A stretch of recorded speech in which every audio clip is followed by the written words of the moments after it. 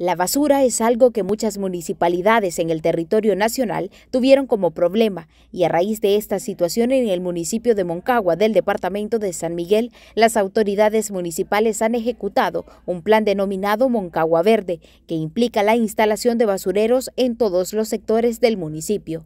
Quiero ser honesto, el tema de la basura era preocupante, era una ciudad que la gente, mucha gente comentaba que era una ciudad sucia, que era una ciudad que estando cerca también de lo que es la cabecera de San Miguel, eh, no tenía lo que era una limpieza adecuada. De manera estamos implementando lo que es la limpieza de la ciudad, así como también los 12 cantones que tiene nuestro municipio de Moncagua. El 50% de estos basureros han sido instalados, los demás están por serlo. Unos están ya dentro de algunos centros educativos y en los alrededores del parque municipal.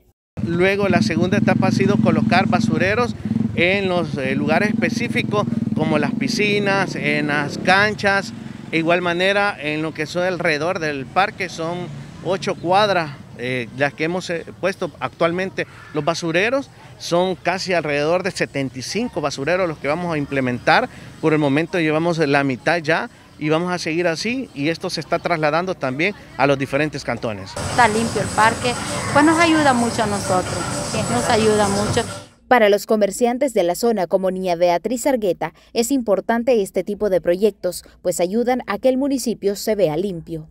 Habiendo el cumbo, ¿por qué no depositar la basura? Ahora que el nuevo alcalde está, se barre tres veces al día el parque.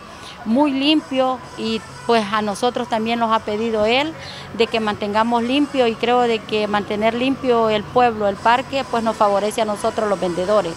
Los que transitan por el sector así calificaron esta acción para evitar la contaminación de las aguas. Otros están a la espera que este proyecto llegue hasta sus comunidades, pues la basura ya está a punto de generar inundaciones. Pues un poco de raro aquí porque la, la, la, recogen aquí en el ligerito, pero allá me lo van a tirar allá por, por debajo ya para, el río del Tejar. Pasamos no, no, no, pero ya está casi para botar esa barranca ahí. Que la ciudad luzca limpia. Ese es el principal objetivo de esta nueva administración, pues aseguran que en las anteriores este problema de basura era algo que se presentaba frecuentemente. Con imágenes de José Zelaya informó para Noticieros TVM Marcela Hernández.